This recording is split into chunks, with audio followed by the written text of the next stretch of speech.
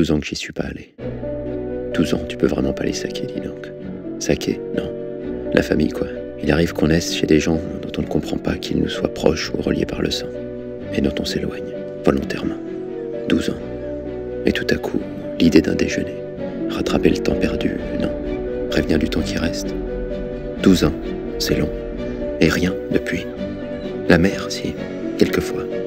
Et ma sœur, que je connais à peine, qui n'avait que 10 ans quand je suis parti.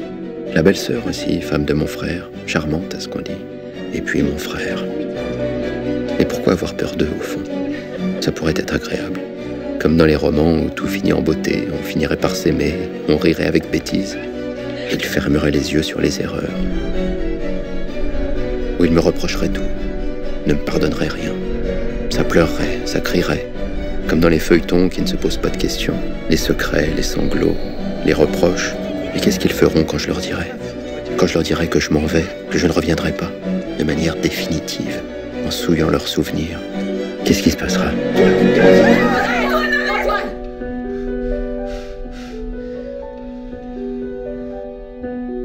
Imprévisible. Et pourtant, ce n'est qu'un déjeuner en famille. C'est pas la fin du monde.